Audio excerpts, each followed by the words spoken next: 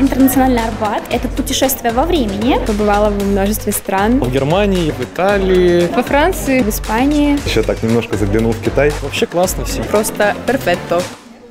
Здесь очень много языковых станций, буквально все языки, которые можно выучить в НГУ, представляют свою культуру, свои национальные блюда. Я помогаю людям стать пиццайоло. Это человек, который делает пиццу, например, quattro formaggi, diavolo, quattro stagioni, и собрать ингредиенты для пиццы. Один ингредиент полностью лишний – это курица. Не советую класть курицу в итальянской пицце. Мне очень понравились конкурсы от э, Италии. Там были и скороговорки, и нужно было изобразить портрет, повторить силуэт человека.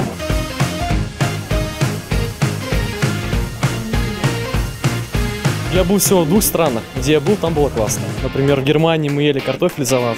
Он был невкусный, но это нормально. А во Франции круассаны. Я ощутился в Германии, где я жил целый год и услышал немецкую речь. Для меня это важно очень. Я думаю, для людей, которые живут в других странах и прилетают сюда, им не хватает этого чувства. Во Франции мне понравилось э, отгадывать правда или ложь интересных фактах. Например, что во Франции 12 часовых поясов оказывается, потому что там разные колонии ей принадлежат.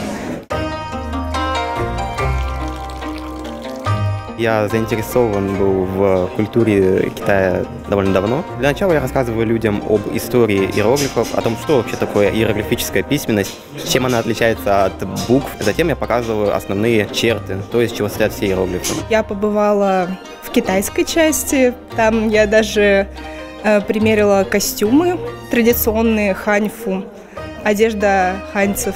На каллиграфии меня учили пользоваться кистью, писать иероглифы ручкой я умею, но э, пользоваться кистью гораздо сложнее. Но теперь даже хочется практиковаться в этом больше.